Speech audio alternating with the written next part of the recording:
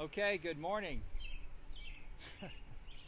We're here at the St. Louis County Transportation and Public Works facility in Maryland Heights.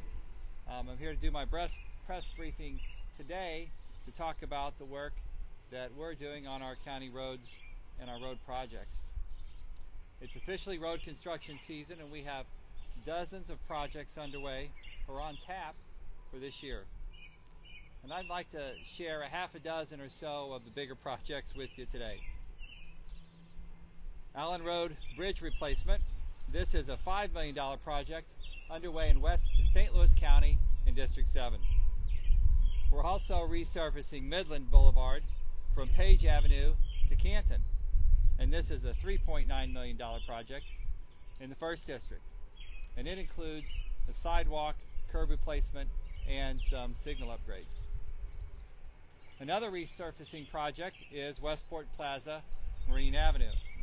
And this work is in District 2. And it also includes sidewalk and curb replacement and signal upgrades for a total cost of $4.7 million. Bayless Avenue, which runs through District 6 in South St. Louis County, is getting resurfaced as well. Uh, this project includes uh, curb and sidewalk improvements and signal upgrades, and it's uh, coming in at a $2.3 million um, cost.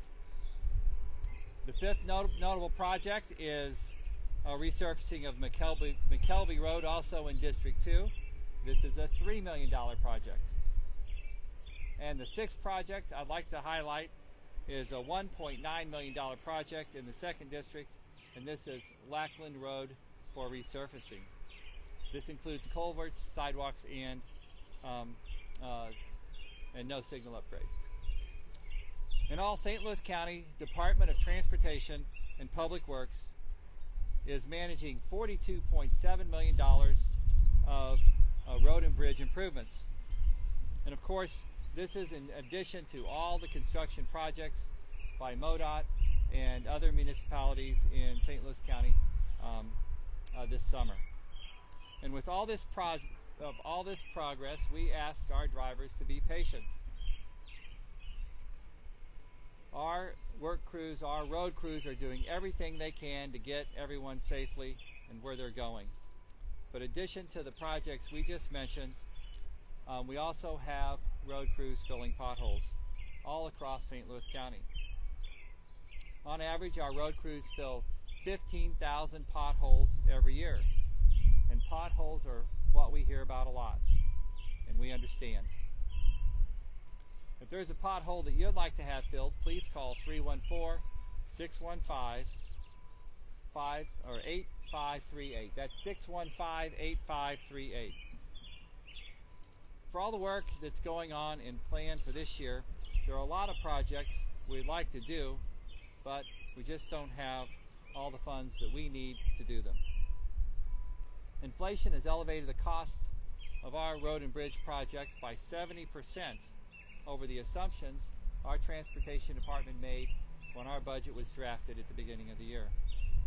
And notably, the federal infrastructure bill has the unintended consequence of causing construction costs to surge as the demand for labor and supplies has escalated. The competition for skilled labor here and across the country has intensified, resulting in higher wages and labor costs. Supply chain disruptions um, from the global pandemic have further exacerbated the situation. And as a result, we can't do nearly as many projects as we had planned. In fact, our Department of Transportation has canceled $26.6 million projects that we had planned in the next five years. And we can't lean on the county's road, uh, road fund anymore to fund these projects. A budget deficit now for this year of $40 million is, um, is really going to prevent us from just going back into this fund and picking up the slack. Um, our, our revenues are coming in a little bit stronger than we'd expected, but we still are carrying a significant structural deficit. Without new revenue streams or cuts to services or a combination of the two, Um, we just can't keep operating with this deficit. It's not sustainable and it's not good for the financial health of our county. A budget work group that includes me and a couple of members of the council meet each week and we're going through the budget with each department to understand where the revenues are coming from, uh, what vacancies they have, and what services might be able to be cut. We plan to begin town hall meetings in June uh, with residents in St. Louis County to get their input on the budget as well. And we'll announce those dates as soon as we have them finalized. Meanwhile, please drive through caution, drive with caution in a work zone. Our work crews are working hard to make our roads safer, and we want to make sure they get home safely to their families as well. Thank you, and I would be glad to answer any questions. Transportation, talk about the challenges in the current economic climate of trying to fund these spoke to it a little bit. What are some of the challenges you're dealing with? How hard is it to figure out what to do and what not to do? Uh, so the question is about the current economic climate and our decision making around choosing projects. Um, our um, Department of Transportation and Public Works and our crews, they go around and they grade the roads on a scale of, uh, of uh, 1 to 10. And uh, 1 is, is terrible and 10 is brand new. And so we uh, start to replace roads when there are 3 or 4 on that scale. Um, we'd like to replace them sooner, um, but uh, that's what we do with the funds that we have.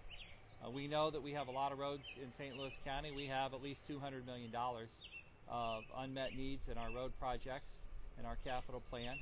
Uh, we have about $40 million a year to spend uh, towards that goal. And we use that money to match with state, uh, with uh, state and federal funds, and we get as many projects done as possible.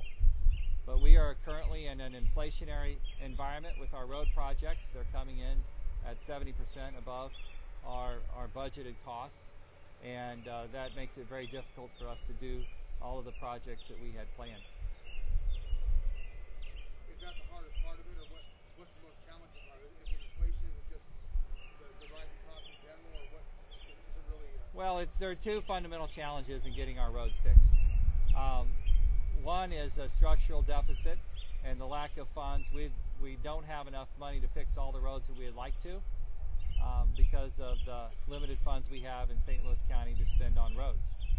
Uh, the second big challenge is that the costs have escalated dramatically beyond what we had expected, and that's a challenge that everyone in the region and everyone in the country is facing.